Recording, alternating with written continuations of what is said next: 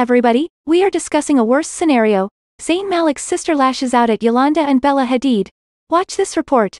Share with your friends, and we're coming with a lot more to share in this video. Zayn Malik's sister Safa Malik on Friday defended her brother after he was accused of striking Yolanda Hadid. Taking to social media, Safa said, Don't react to toxic people. Not giving them a reaction when they desperately seek it, is far more powerful. But before details, please subscribe this channel and hit bell icon, so you'll be keep in touch with us. In another post, she wrote, Family. We may not have it all together, but together we have it all. Safa then posted a collage of pictures featuring Zayn Malik and her niece Khai. Her reaction came after Zayn Malik issued a statement denying the allegations against him. I adamantly deny striking Yolanda Hadid. For the sake of my daughter I decline to give any further details, he said.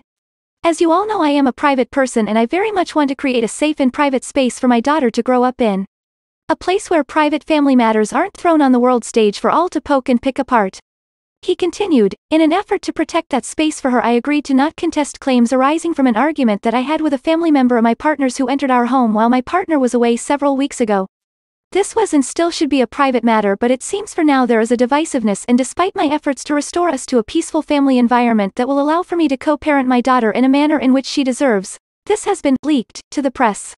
I am hopeful though for healing for all involved with the harsh words shared and more important I remain vigilant to protect Khai and give her the privacy she deserves, Zayn concluded.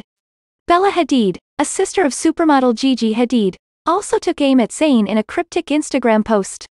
I can do nothing for you but work on myself. You can do nothing for me but work on yourself, she wrote.